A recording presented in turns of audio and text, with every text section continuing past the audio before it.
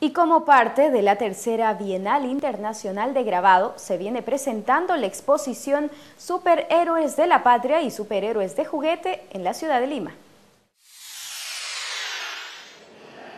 Germán Quino, más conocido como Sherman, y Haroldo Giga son amigos desde hace tiempo. A ellos los unió el amor por la xilografía, la técnica de grabar en madera. Ambos han aprovechado su experiencia para de la mano con lo lúdico representar nuestra vida e identidad. Así lo podemos comprobar en la muestra Superhéroes de la Patria y Superhéroes de Juguete. Para Sherman, los héroes que presenta no necesariamente han sido escogidos por participar en una batalla.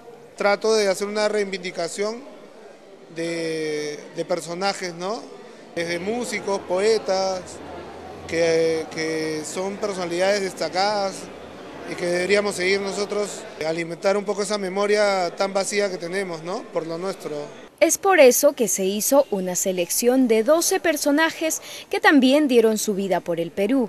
Entre ellos destacan Miguel Grau Seminario, Jorge Basadre, hasta María Elena Moyano, entre otros.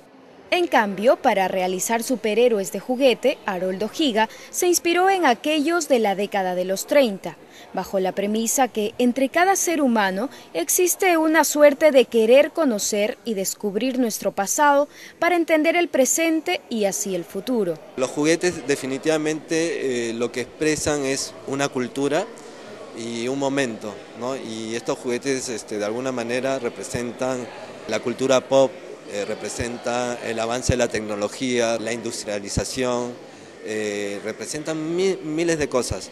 La exposición de Sherman y Haroldo Giga permanecerá abierta hasta el 11 de abril en el Centro Cultural Inca Garcilaso de la Vega en Lima y el ingreso es libre.